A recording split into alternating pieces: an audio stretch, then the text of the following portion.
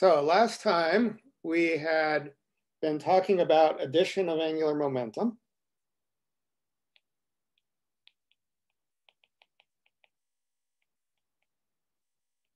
And if you do that for two generic angular momenta J1 and J2,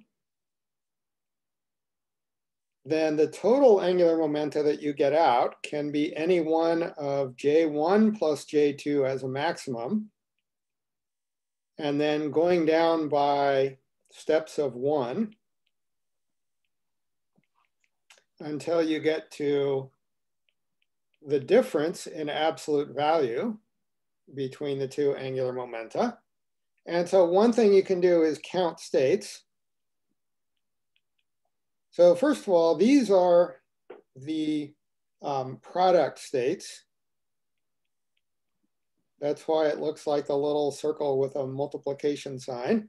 And if we count them, there are two J1 plus one states times two J2 plus one states because each one of those you get by adding up the different m sub 1s and m sub 2s you can have. And each one of these numbers represents a total angular momentum.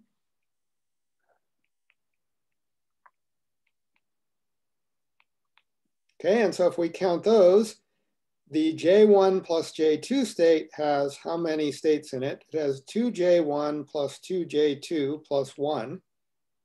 And J1 plus J2 minus 1 has 2J1 plus 2J2 minus 1. And then when you get to the last one, it's 2 times absolute value J1 minus J2 plus 1. And if you add those all up, then you indeed get this product of 2J1 times 2J2 plus 1. Okay, so when we when I was mentioning last time about the Clebsch-Gordan coefficients and the fact that you can compute them by applying the J minus operator together with orthonormality, that's how you actually construct the states. But if you just want to know how many there are and enumerate them, then that's where this way of writing things comes in.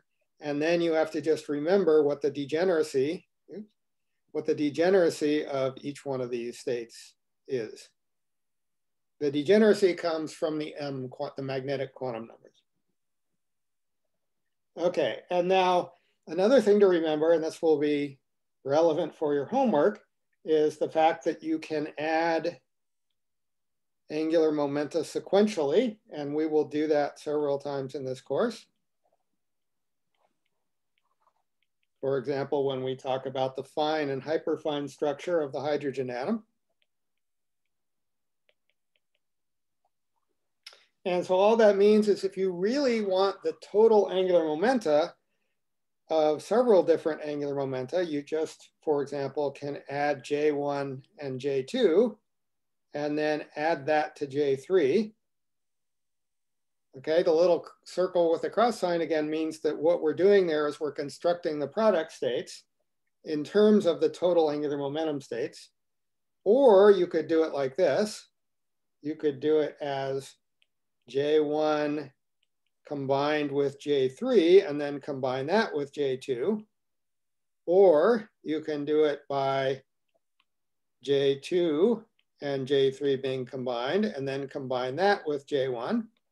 And of course, you have to get the same answer in the end, no matter how you do it. So for example, let's do, let's do an example of how many states are there that are 2p states of hydrogen?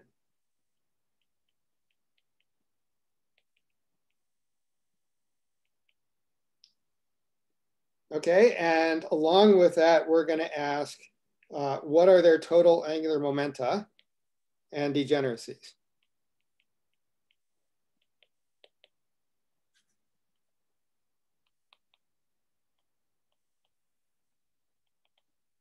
Now, when we do this, we're going to take into account something we haven't, uh, one thing we've sort of mentioned and one thing we totally haven't mentioned, and that's the electron spin and the proton spin.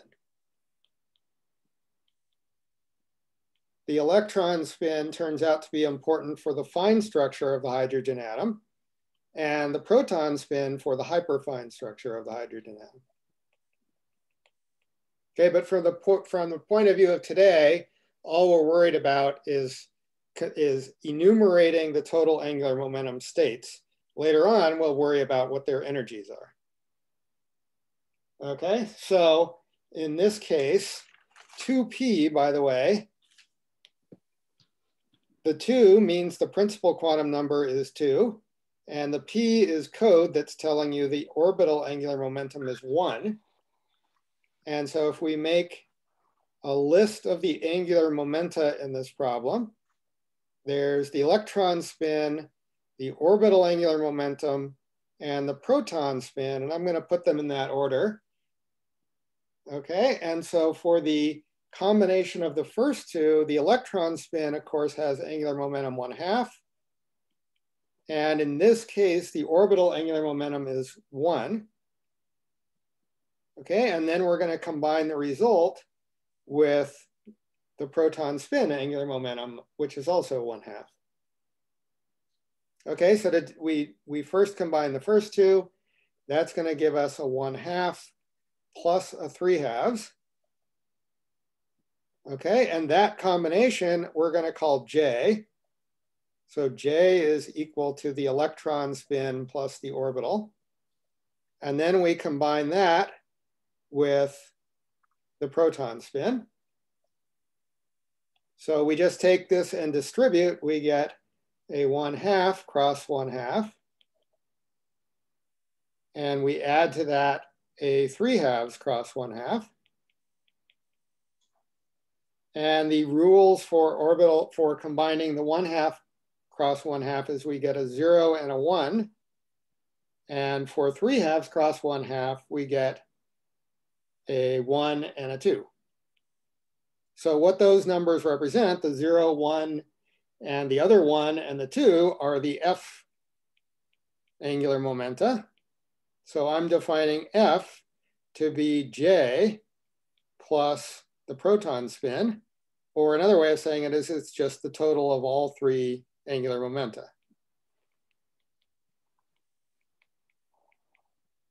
Okay, so F is, I don't know why F is chosen for the total angular momentum of the whole system, but that's just the letter we're gonna choose.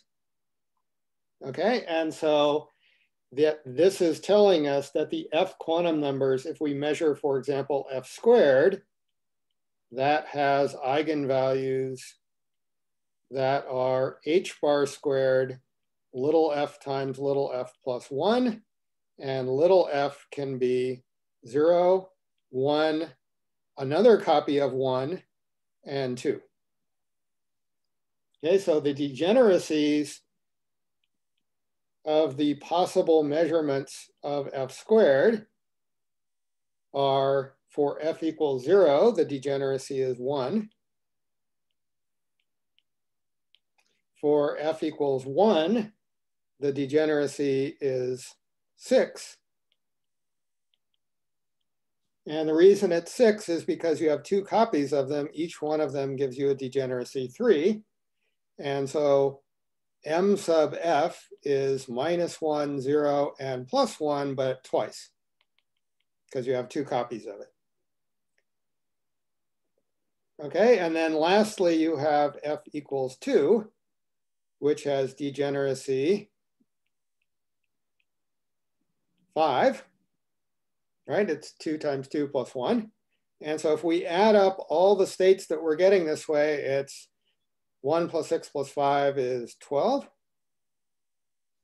And that matches with the fact that if we had one half cross one cross one half, this has degeneracy two, this has degeneracy three, and this has degeneracy three, two, so that's 12 total because we just multiply them together in the product basis.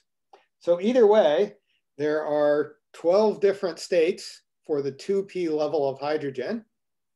Uh, before, we would have just said there were three such states, but that was because when we originally did the hydrogen atom, we were ignoring the spins.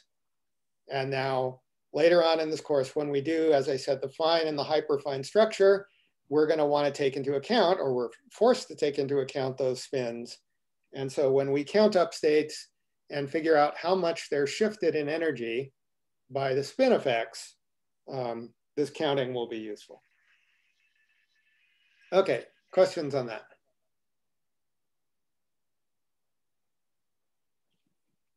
Okay, so that's uh, that was a, of course, very lightning and incomplete review of some of the things we talked about in um, in uh, Physics 660, but now it's time to move on to new stuff. And so our first new topic is going to be stationary state perturbation theory. Sorry, Professor. State... Yes, go ahead. A little bit. Could you scroll up? I was still writing that last part. Thank you. Okay. All right, so we're going to be talking about stationary state perturbation theory. Stationary state perturbation theory is sometimes called time independent. We will later be talking about time dependent perturbation theory. Okay, but for now, stationary state is an independent, is a synonym for time independent. And so here's the general problem we want to solve is given a Hamiltonian, which doesn't depend on time, we want to solve the eigenvalue equation for the Hamiltonian. If it doesn't depend on time, then solving this will tell us two things. First of all, it will tell us the energy levels of the system. And secondly, if you know the energy eigenstates and eigenvalues, then you can evolve any state in time, not just the energy eigenstates, because you can write anything as a linear combination of these eigenstates, psi sub n, and you know that each one of them involves, when you time evolve it, involves an exponential e to the minus the energy times time divided by h bar. And so you know how each, each eigenstate evolves in time, and then you, therefore you can involve any state you want in time. So that's why we want to solve the problem. Uh, the problem, the difficulty is that not every problem can be solved in a reasonable way.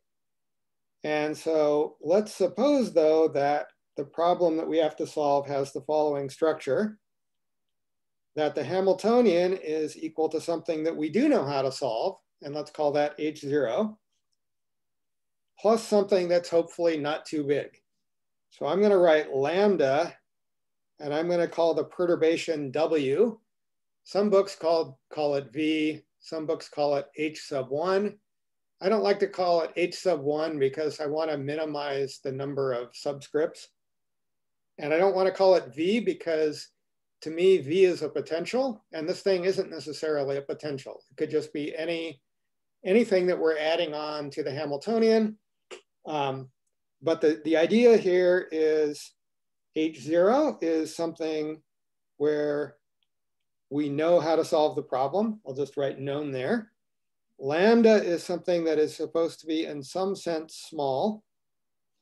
And W is the difficult part of the Hamiltonian. Okay, it may either be something that we don't know how to solve at all, or that we're, we can't solve it when it's appearing together with the H0 part. Okay, so if the problem has, and we'll have to worry later about how small is small enough. But let's say that we have this H0 and we're going to assume, of course it's a big assumption, but we're going to assume that we have solved its eigenvalue problem. So that we have all of the states n such that H0 acting on n is equal to some energy. And to distinguish this energy from this energy up here, I'm going to call these energies curly E's. Okay. And so these are known. Both the energies and the states we're assuming are known. And we're going to call those the unperturbed states.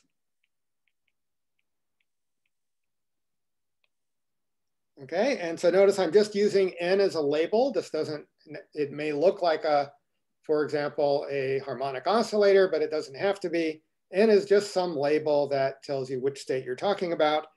And so the idea is these are the unperturbed states.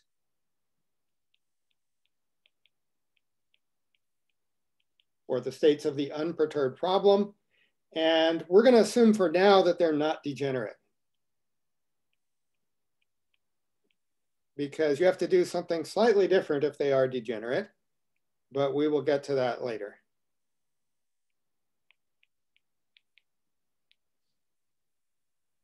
Okay, and so the idea is assuming that we know these and we know the solution to this problem, we want to construct the solutions to the bigger problem with the bigger Hamiltonian. Okay, and so the strategy of perturbation theory is to write the things we don't know, the unknowns,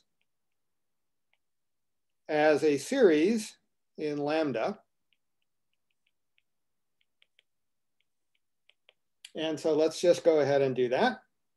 We have the state psi sub n that we'd like to know. And we're going to say that it's a part that doesn't depend on lambda, which I'm going to call psi n0. And then a term linear in lambda, psi n1. And then a term quadratic in lambda, which is going to be called psi n2, and so on. And then we're going to do the same thing with the energy. So the energy of the nth state is going to be a part that doesn't depend on lambda plus a part linear in lambda plus a part quadratic in lambda. And usually that's as far as we really care about, but in principle, this goes on forever. Okay, and so we're making a big assumption when we say this.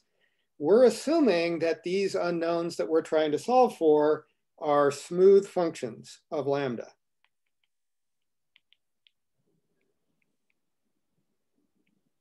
Okay, and not only that, but we're gonna hope they converge. These series converge, which is not guaranteed. Okay, and we'll actually see uh, at least one famous case where they don't converge, and that's called the Stark effect it turns out the Stark effect, even though it doesn't converge, the answer you get is still extremely useful.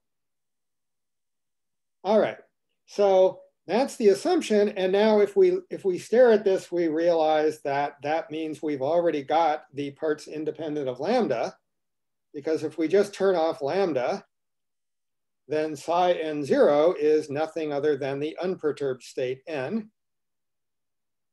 Okay, and the unperturbed energy is the thing En0 is what we called curly E sub n. Okay, so really the, the thing we need to figure out first is the ones with superscript one. Okay, those are the first order corrections as you do this, uh, do this perturbation theory in lambda. Okay, so one thing I want to mention and emphasize because it will come back to be a useful observation when we do treat the case of degeneracies is that when we say things are a smooth function of lambda, that really means, oops, that really means that for each unperturbed state, there is a unique perturbed state and vice versa. okay? Otherwise, if I couldn't assign a specific psi sub n to n, then I wouldn't be able to do this expansion here, right? This expansion is saying I can always dial lambda to anything I want. I can make it small. uh, I can make it zero, but in any case, there's a, a specific n for each psi sub n and vice versa. And that's what's going to cause us difficulty if we're not careful when we allow degeneracies in the energy eigenvalues. Okay, and we will come, I'll remind you of that later when we do the degenerate case. Okay, so in preparation for this problem, we want to make some important choices of uh, convention. So here's our first choice, which is gonna look fairly natural and obvious. We can choose, maybe I should say we will choose, that our unperturbed states are orthonormal. So if I take any two of them, n prime and n, and I take their inner product, that's delta n n prime. That's just saying that they form an orthonormal basis. And we know we can do that because we had a theorem that says, or actually it was a definition that said, if you have a observable, which H0 is an observable, it's the Hamiltonian for the unperturbed system.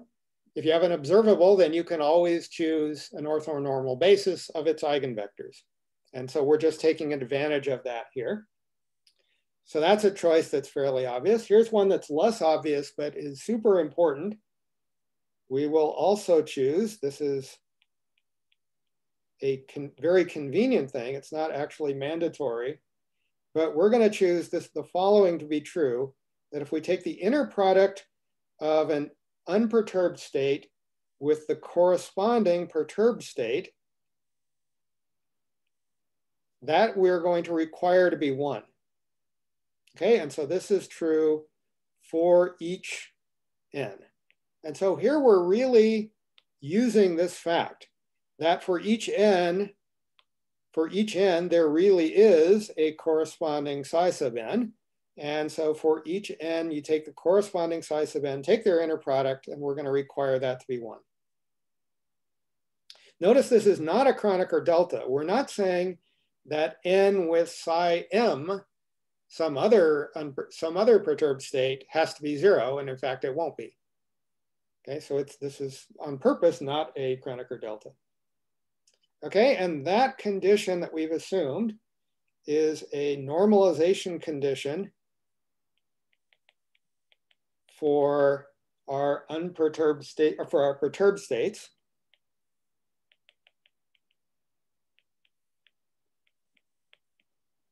for psi sub n. And so note that having made that choice, it's not true that they're orthonormal. So it's not true that the psi sub n are orthonormal. And in fact, once we get to it, we will compute psi n inner product with psi n, and we will find out it is not one. But that's okay because we know that once we compute it, we can always divide by its norm and that will give us something that does have norm one. So we will renormalize it later.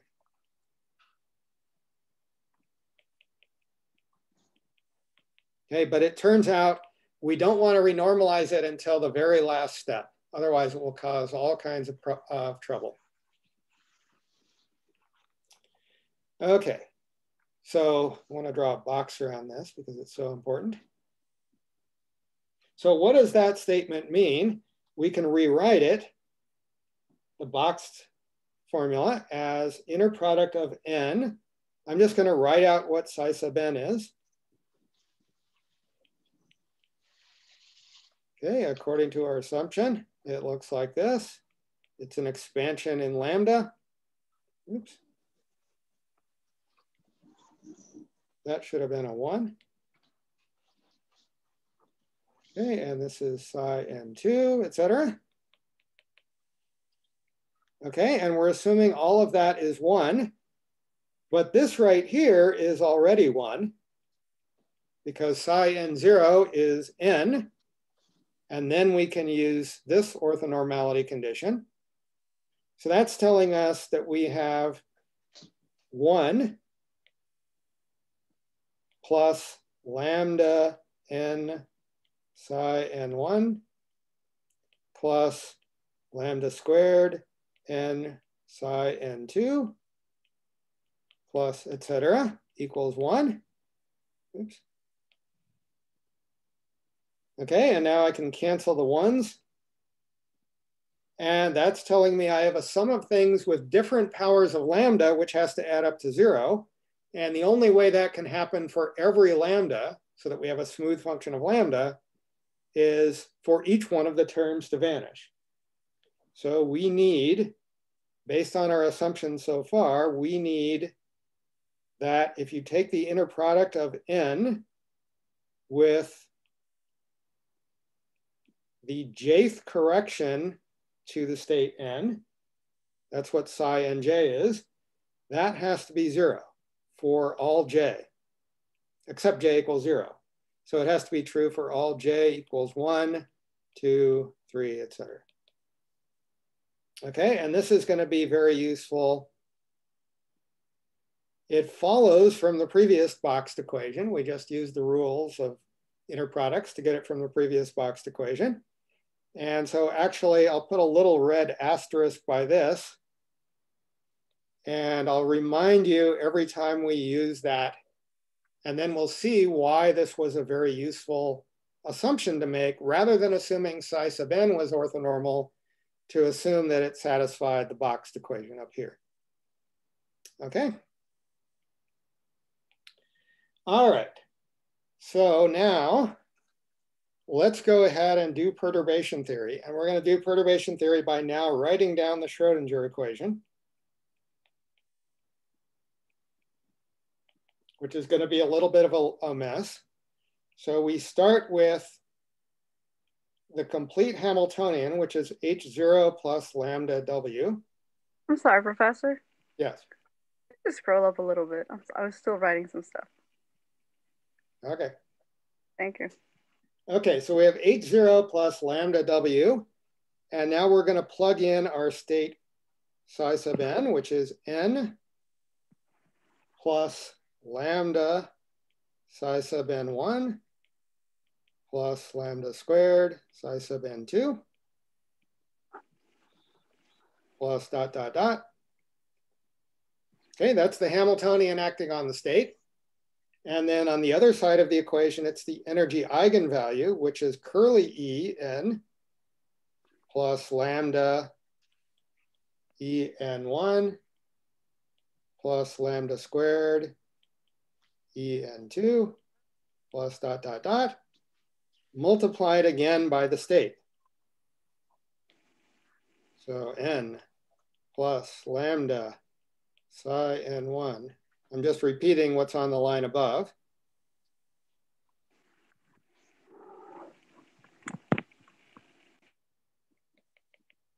Okay, and so that's the that's the time-independent Schrodinger equation, the eigenvalue problem for our unperturbed state. So it's kind of a big mess. It involves not only an infinite sum over lambda here, but a product of two infinite sums over lambda. And now the idea is just to, to multiply everything out and look at powers of lambda. Okay, so expand both sides and then match powers of lambda. Okay, so first we'll just do the first few powers of lambda, and then we'll write down what the answer is for a general power of lambda. So the lowest power of lambda is just lambda to the zeroth power. Okay, and since I'm only including positive power or non-negative powers of lambda, all I need to do there is look at what doesn't depend on lambda. And so I've got h0 times n on the left side. And on the right side, I have curly E sub n and n. And so that's going to amount to just saying H0 acting on n equals curly E sub n acting on n, which is just what we assumed we already knew. So that's not actually telling us anything except that we are in, in fact doing things correctly. Okay, but now lambda to the first power is going to give us something more interesting. Okay, so we just have to look at every term that has lambda to the first power. So we have h0 times lambda psi n1, and we have w acting on n. So let's write down those terms. h0 psi n1 plus w acting on the unperturbed state n. That's the left-hand side. And then on the right-hand side, we've got um, curly E acting on this one has a lambda in it. And then we've got En1 acting on N. So let's write down those terms. So we've got curly En psi N1 plus En1 acting on N. Okay, so that's a non-trivial equation. It's not automatically true like the previous equation. Let's do lambda squared before we solve these. So lambda squared is going to have an H0 acting on psi n2. And then it's going to have a W acting on psi n1. All of these kets are things that we're going to try to solve for. Okay, and on the right, that's it for the left-hand side for things that have lambda squared in them. And then on the right-hand side, we've got curly en psi n2 plus en1 psi n1. And we've got en2 psi n0, which I can write just as n. So let me just write n here. Okay, and now we can continue doing this. Let's try to figure out what the general form is when we match the power on both sides of lambda to the k. Okay, so on the left-hand side, we'll have H0 acting on psi nk. And we'll also have W acting on psi n k minus 1. So that's just because the W comes with a lambda. So if we're counting powers of lambda to the k, we, need, we have to have one less power of lambda on the psi part of it. And then on the right-hand side, we're going to have curly E sub n psi nk. And then we're going to have a whole bunch of terms that's going to be written as a sum, j equals 1 up to k, enj times psi n k minus j. Okay, and of course this keeps going on forever, but that's the general the general uh, expression that we have to solve. So we have to solve all these equations simultaneously for the En superscripts and the psi n superscripts. Okay, and we're going to do it up to some power. So solve up to some power.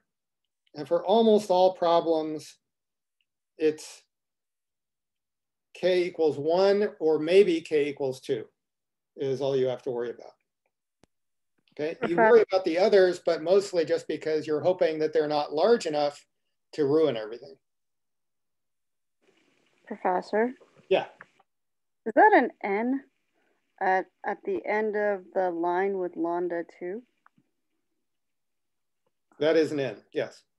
Thank you.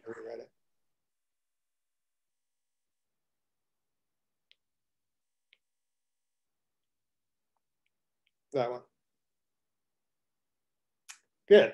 Okay, so we're going to solve these up to some power lambda k. We've already solved lambda 0 because that was trivial. And so now let's do the lambda 1 equation. So we're going to take the inner product of the lambda one equation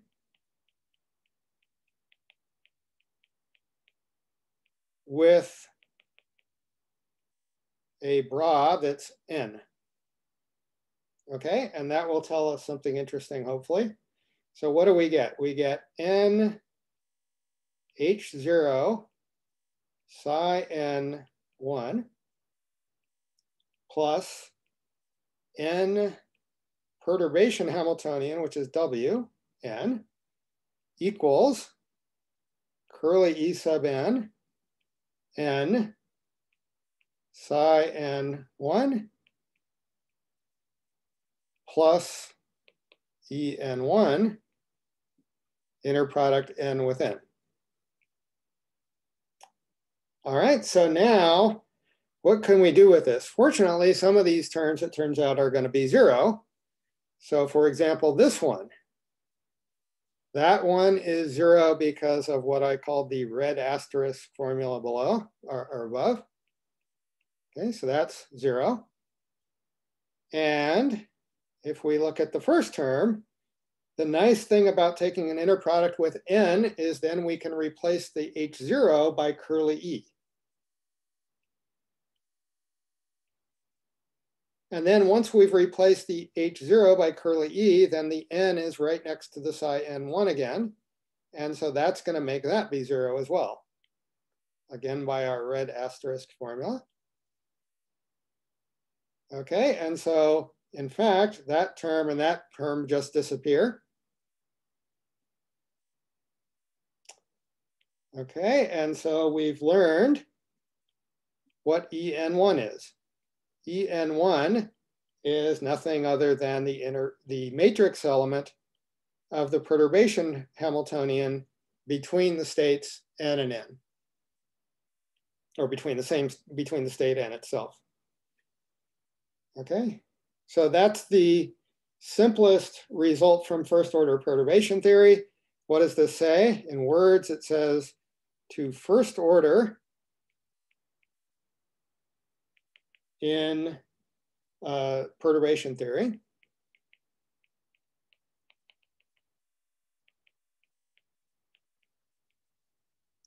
The energy shift, remember En1 was how much the perturbed energy differed from the unperturbed energy. That energy shift is equal to the expectation value of the Hamiltonian perturbation. Well, that's what W was.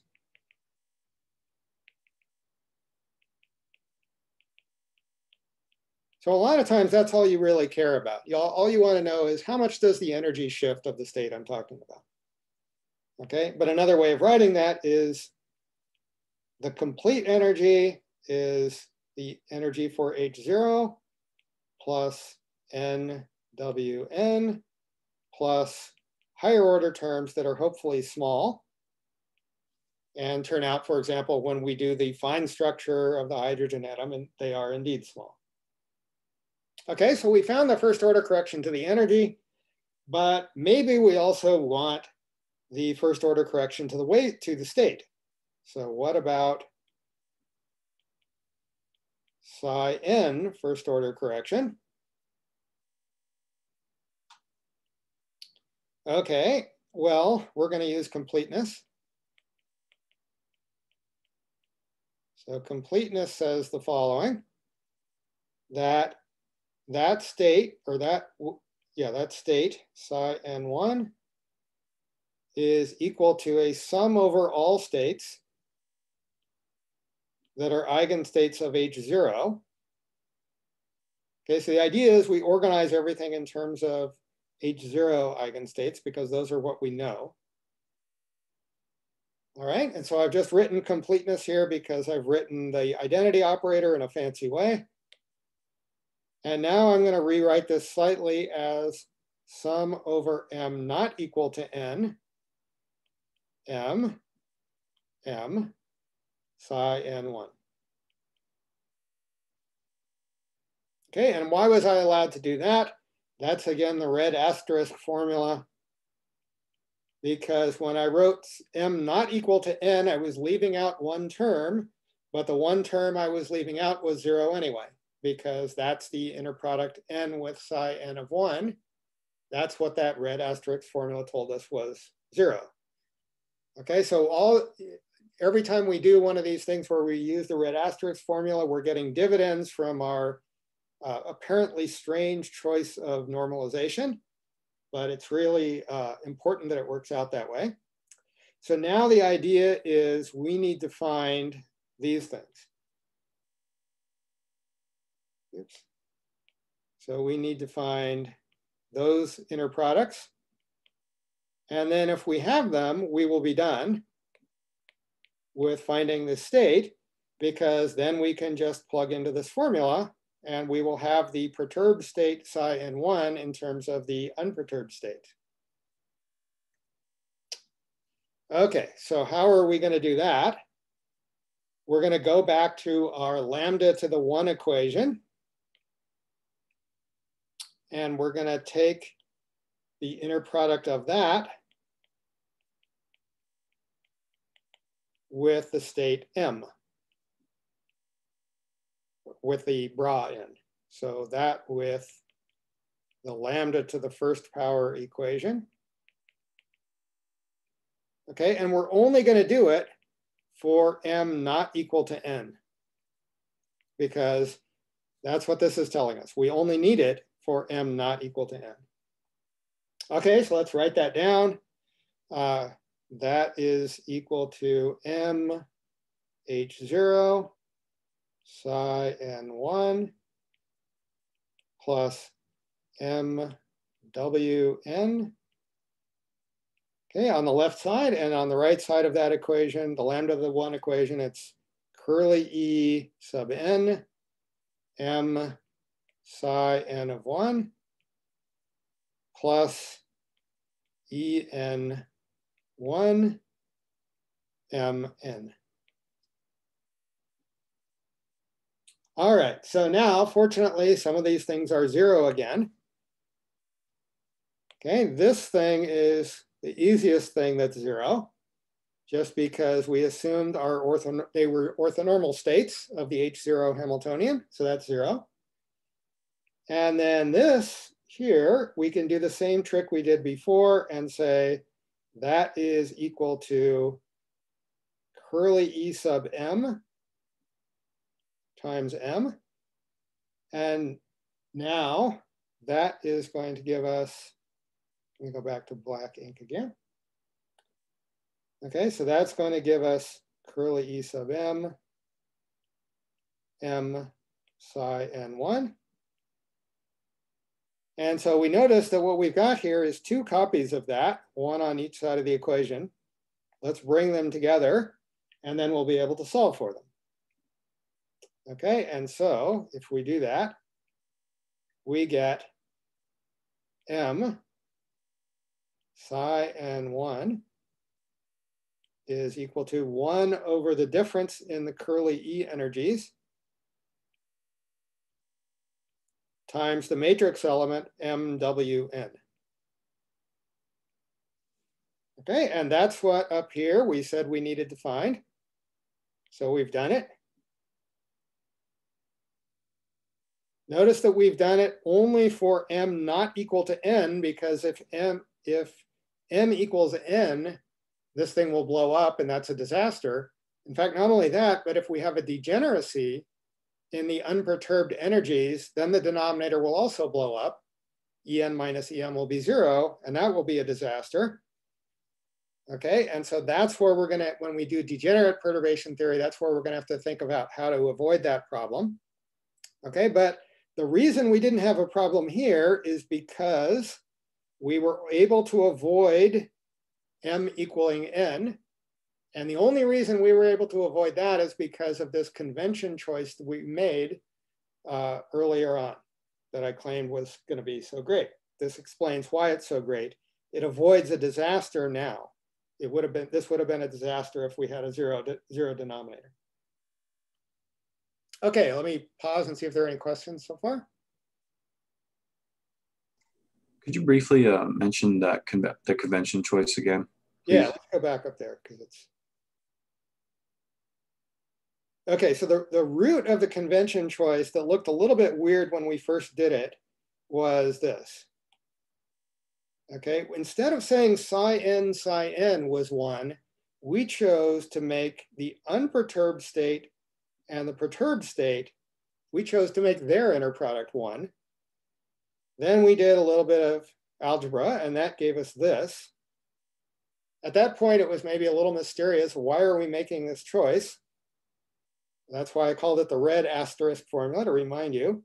And now we go through a bunch of algebra and we find out that this is why it was such a great choice.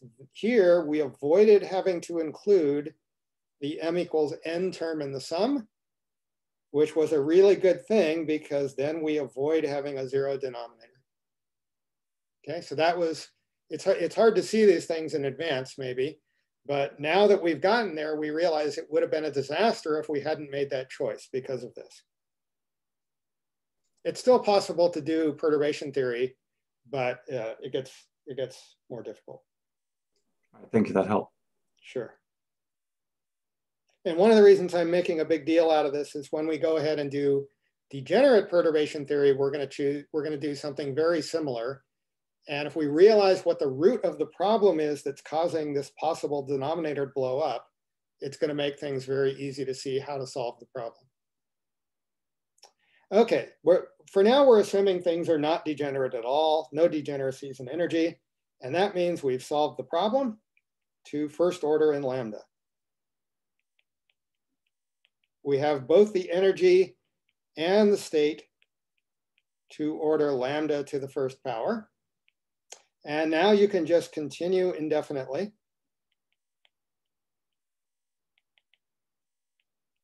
We're not going to be able to continue indefinitely today, partly because indefinitely means infinitely.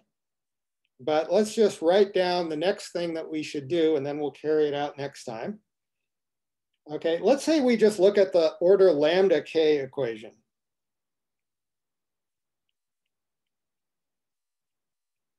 Okay, and now I'm going to take the inner product with the bra n. So we're getting some information out of that equation, but not all of it. We'll return later to what all of the information means. Okay, so if we just write down though what we get, we get n h0 psi nk plus n perturbation Hamiltonian w psi nk minus 1 on the left side of the equation. And the right side of the equation you can write like this. It's a sum from j equals 0 up to k of e and j n psi n k minus j.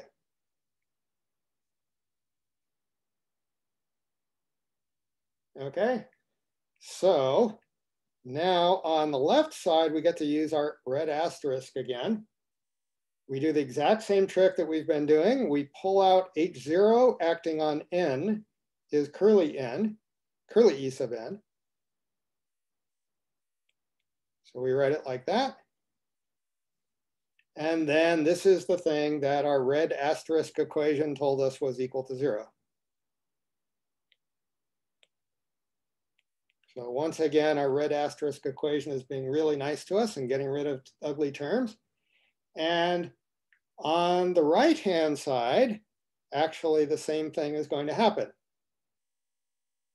Okay, for every term except j equals k, this equals zero. So for all except j equals k. That's our red asterisk equation again in action. And so that's great because that means in that infinite sum, there's only one term. Okay, and so we can ignore the first term on the left. We only get one term on the right. And so what have we got? we've got the nth order correction to the energy, or sorry, the kth order correction to the energy E sub n is equal to the matrix element n W psi sub n k minus 1. Okay, so what is that equation telling us? That's telling us that if we have the wave function at order k minus 1, then we get the energy at order k. So the energy always depends on knowing the wave function at one less order. Okay, so we need wave function at order k minus 1 on the right side to get the energy correction